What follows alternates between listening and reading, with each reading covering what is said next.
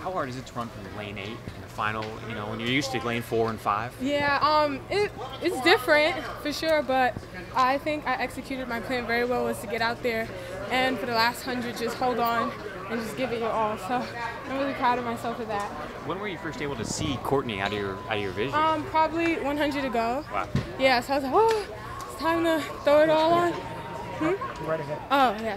You talked in the prelim day about how you didn't close the way you wanted to. Mm-hmm. Today, how would you feel about the, that final hundred? I felt very good about today, way better than I did for semi. So, yes, felt really good. that ease paying a little bit of, of four by one at all for you? Uh, yeah, it did. It did. I try not to dwell on the past like that. Just keep moving forward.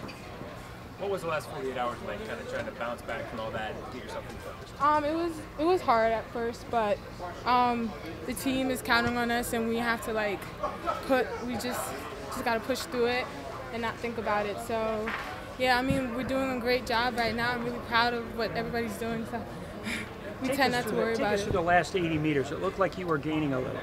Hmm? Take us through the last 80 meters. Looked like you were chipping away a little bit. Gaining. Last 80 meters, um, I don't think I can quite honestly answer that myself because uh, I don't know. I was in the moment, so I just yeah, I was in the moment. I don't think I can give you a straight answer. Just yeah, When's the last time you think you ran from lane eight? I never, I don't think I ever did. Ever did? Yeah, so that was the first. It was interesting. Um, yeah, it was interesting.